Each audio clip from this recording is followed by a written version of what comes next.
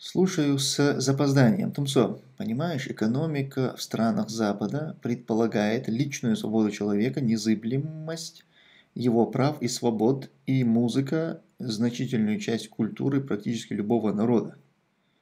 Экономика в странах Запада не предполагает личную свободу. Экономика – это, это вещь вообще никак не связанная с личной свободой.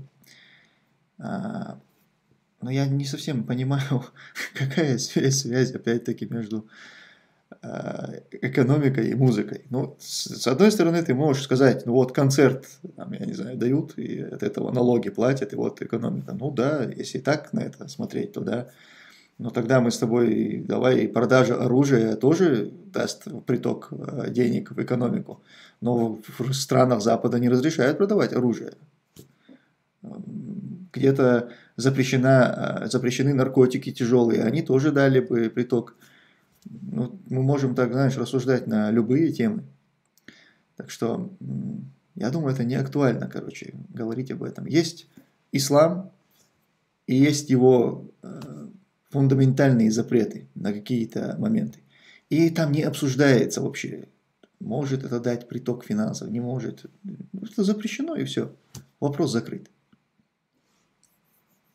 мы как бы, мы мусульмане, у нас, ну, такова наша религия, таковы наши правила. Мы же никому ничего не навязываем, мы говорим чисто о себе и о своем внутреннем укладе. И никто не должен к нам приходить с какими-то своими, с навязыванием своих каких-то идей.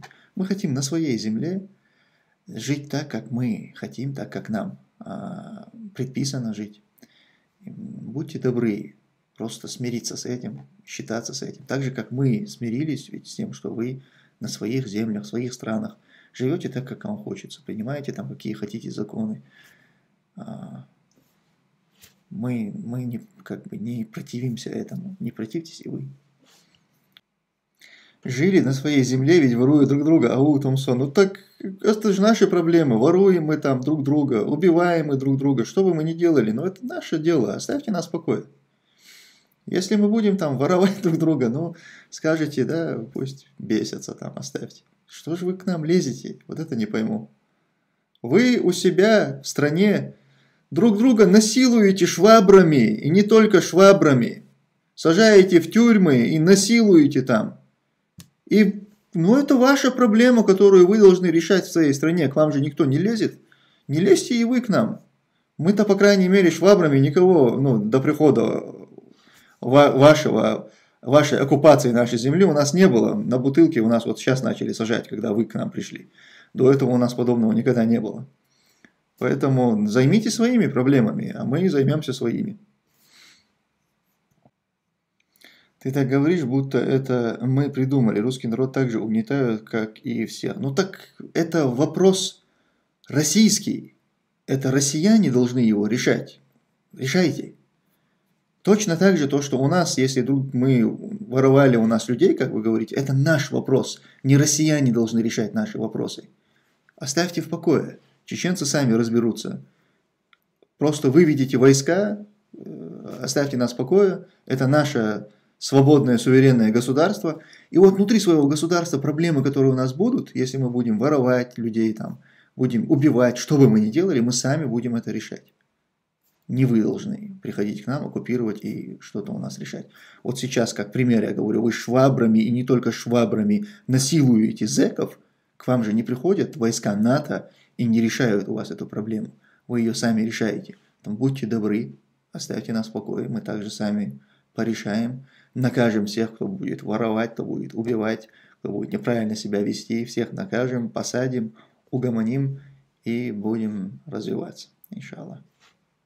Я русский мусульманин, ревнив к религии и я раздражен, когда чеченские женщины одевают обтягивающие хиджабы и полуплатки, танцы, которые устраивают мужчины, поэтому давайте убирать приставки русские и чеченские. Если ты уберешь эту приставку русские и чеченские, ты решишь эту проблему с обтягивающими хиджабами вопрос, об, ну это неправильно даже называть это обтягивающие хиджабы, потому что хиджаб, э, сам смысл слова хиджаб это покрывало, это покрытие. То, что они на себя надевают, это не хиджаб. И вот решить проблему вот этих обтягивающих платьев ты не можешь, не, не убрав оттуда э, заказчиков да, этой моды, ценителей этого, а это власть, это ведь Кадыров и его окружение, это они любят, чтобы так наряжались эти женщины. Пока ты не изменишь эту ситуацию, ты, не, ты никак не, не сможешь а, поменять это к лучшему. Тумсу, а Делимханов чем занимался во время войны? Предавал. занимался, занимался предательством. Предал Градуева и получил для себя пост в российском государстве. Ну, не, неплохую сделку для себя он, конечно, сделал в этом мире, преуспел. Но будущее у него, конечно, незавидное, и он это знает.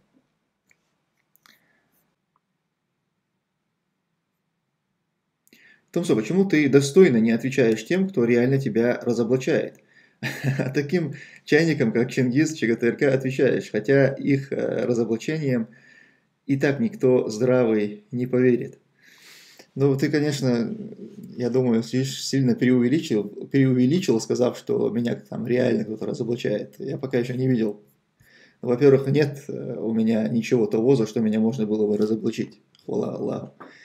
А я подоз, подозреваю, что ты имеешь в виду каких-то людей э, с двумя с половинами, допустим, людей, э, у которых там, два с половиной человека аудитория, и они что-то там про меня говорят, э, лгут, как правило. Лгут на меня, и почему я им не отвечаю? Потому что я не считаю нужным им отвечать. А почему я обращаю внимание на ЧГТРК грязный, на различных кадыровских пропагандистов или их политиков? Потому что это изначально мои враги. С врагами ведут э, диспуты, им отвечают, их унижают, их опровергают. С ними надо так работать. А вот те люди, о которых ты говоришь, э, я их, ну, Друзьями они однозначно не являются, но и до врагов они тоже не дотягивают. Я просто в упор их не вижу. Поэтому не считаю нужным им отвечать. Официальный представитель МИД России Мария Захарова, комментируя установление памятника лидеру сепаратистского движения в Чечне Джахару Даеву Турции, подчеркнула принципиальность позиции России по отношению к памятникам террористам. А, ранее телеканал РТ, да, вы знаете нашу принципиальную позицию в отношении установления любых видов памятников экстремистам, террористам, боевикам и коллаборационистам. Эта позиция неизменная, принципиальная и относится к любой стране точки. Я здесь заметил очень такой э, сдержанный тон официального представителя России – в отношении Турции. Вы заметили, если бы, допустим, что-то подобное было бы в США или в европейской стране, там, ну, когда что-то такое происходит, там тон такой бывает, мы, достойный ответ и туда-сюда. А тут такой прям сдержанный очень тон. Это Видно, что это ситуация, которую не прокомментировать нельзя, то есть они должны что-то по этому поводу сказать и должны сказать что-то не очень, а, ну, что они недовольны, то есть какое-то осуждение а, они должны высказать, но делают это крайне аккуратно, чтобы а, не наруш, не пострадали их отношения с Турцией. Это говорит о том, что турки и Турция сегодня играет очень важную роль для России, они видят в них ту страну, тех партнеров, с которыми ругаться они не хотят. Сейчас турки для них важны, поэтому такой очень сдержанный тон. Ну а вообще, конечно же, Захаровой стоило бы побеспокоиться о памятниках Сталину, улицах имени Сталина. Но разве будут они об этом беспокоиться? Мы-то знаем, что и Путин, и все они не гордятся Сталиным, они любят его.